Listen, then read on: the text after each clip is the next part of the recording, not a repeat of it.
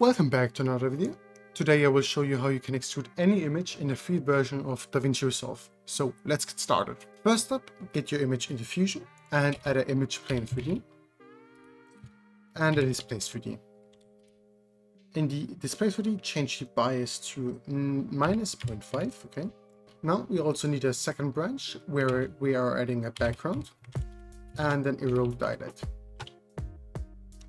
Simply connect the source with the background. It's important that the background is white and that the resolution matches the source one. So just view your source and you're gonna see the, its resolution here. And you're just gonna type it into the resolution here of the background. So for me, it would be 2560 times 1771. Now simply plug the erode dilate into the displace 3D and you're gonna see it's looking ugly. That's because the displace 3D has barely any geometry to displace, so we need to add a bunch of subdivisions in the image plane, a few hundreds in most cases. So if I add like 300 here, it's gonna look way better. To fix the transparency in the extrusion, you have to erode the background till it's solid. So just turn it down here. You can also change it to um, circle here, depending on your shape. We'll just turn it down till there are normal seams.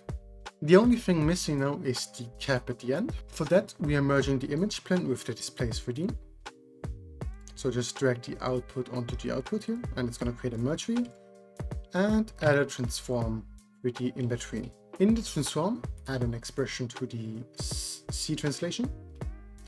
And I will write an expression into the description, so you can just copy paste it into Resolve, like this.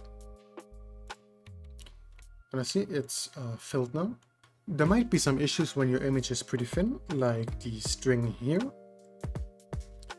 In that case, you just add an erode dilate at the start of the node tree and just increase it till it's fixed. You can also change to um, circle to preserve more of the shape. And as again, um, to get more detail here, you just need to increase these subdivisions. So it's just um, looks for speed. And that's how you extrude in DaVinci. If you enjoyed this video, make sure to like, subscribe, and goodbye.